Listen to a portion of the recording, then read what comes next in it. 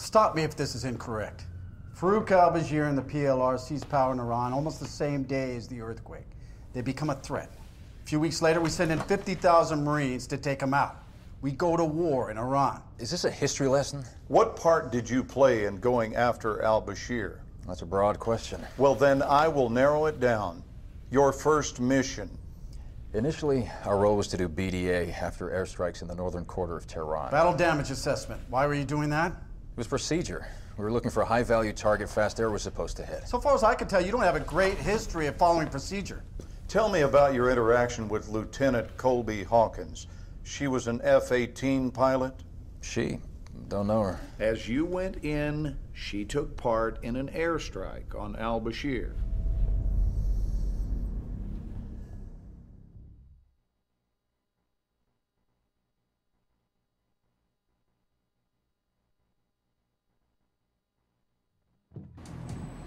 Hawkins, we just got raised to Alert 1. Plans have changed. We're launching now. CAG says we're special today. We're not on station for some Whiskey Delta ground support. DASC is going to fill us in airborne, but we are flying a strike mission over Tehran into Mehrabad Airport.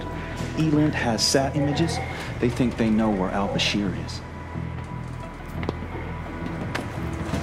So, get your fangs out, Hawkins. We're hunting big game today.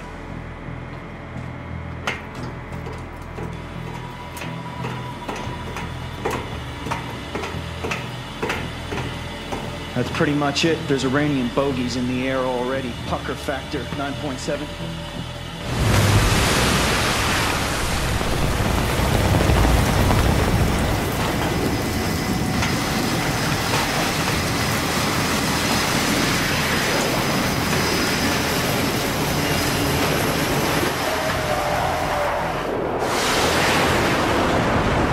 Farouk al-Bashir is about to have a really bad day.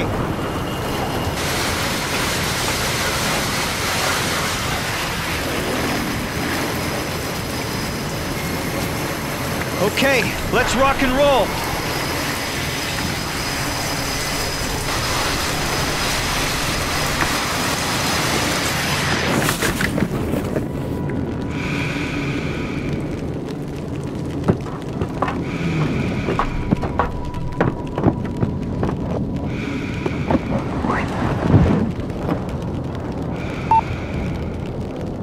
Close the lid, will you?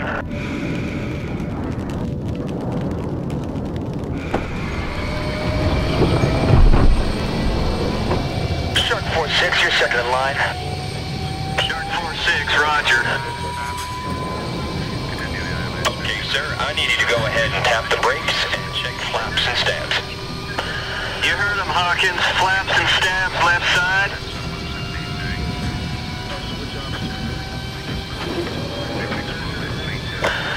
Okay, good. How are we on right side?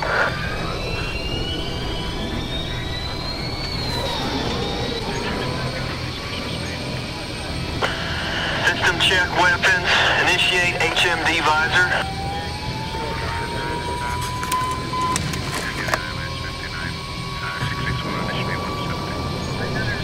Got a green light up front. Switch to cannon. Okay, gun spun up, looks good.